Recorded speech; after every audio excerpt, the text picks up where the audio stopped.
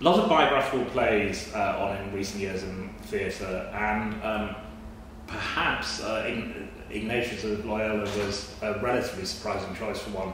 So why? Um, why? I've always been interested in the Jesuits. I've always been interested in Ignatian spirituality, and um,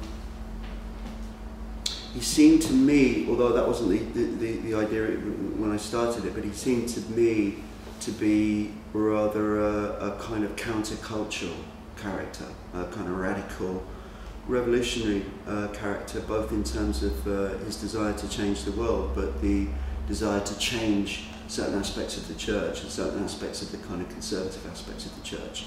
And that kind of chimed with a certain kind of experience that I had I'm just interested in those kinds of personalities because they're, they're a kind of symbol against, uh, against which opposition can kind of um, gather and uh, and they're, they're, they're troublemakers and they shake things up and I, have just always had a bit of a soft spot for a maverick genius, you know.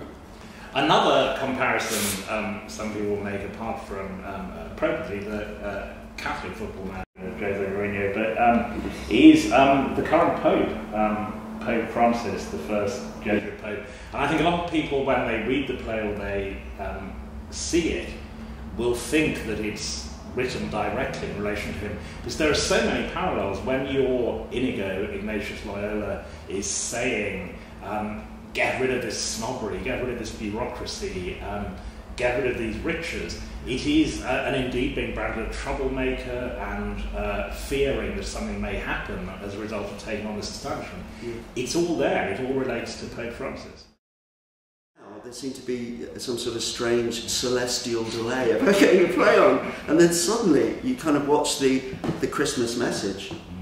Uh, this normally very bland message to the Curia that he uses as an ambush, really, to to wake them up and say, listen, things have got to change. You really got to. And, and yes, going into rehearsals and working on the current draft and everything, uh, this is Ignatius who goes to Rome, who, um, who wants to change the establishment, who wants to change the Vatican and wants to make things different. He was a reformer, very much so. And the idea that a Jesuit is Pope would have been um, unheard of for, for, for the early days. No bishops, no nothing, no, because they wanted to remain radical. There was a contemporary letter, I think Javier Francisco, St. Francis Xavier, as we call him, was, was, was very, very, and Ignatius as well, and the letters to each other were very aware about uh, staying, I mean, words like radical and untainted are used. Uh, and so certainly, yes, that the initial project was that because of the, uh, the kind of governing um, culture of the time of the Vatican, which was obviously very corrupt, um, they didn't want to be tainted by that. They wanted to initially uh, not even have any rules and regulations at all. I mean, they were almost like proto-hippies. They just wanted to go to Jerusalem and live lives of service and help to other people in total obscurity, which gives the lie to the idea of him being this kind of empire builder and this kind of and even then he decided uh, later on to when they were forced to pretty much uh, have rules and regulations. They still wanted to keep it very, very minimal.